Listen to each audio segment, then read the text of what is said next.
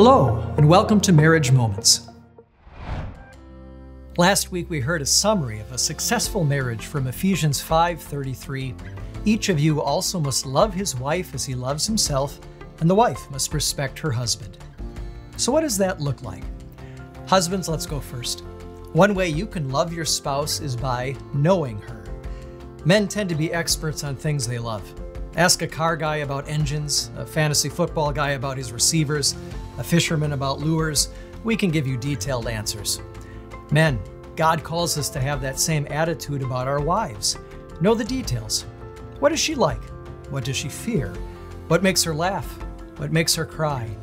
How can you love her through it all? Does knowing her like this take time? Yes, but don't worry. Marriage is for life. The more you know her, the more you will discover ways to love her and build the bond of your relationship. Empowered by God, who promises that He knows every hair on your head and every need in your life, become the world's greatest living expert on your wife, and your marriage will be blessed.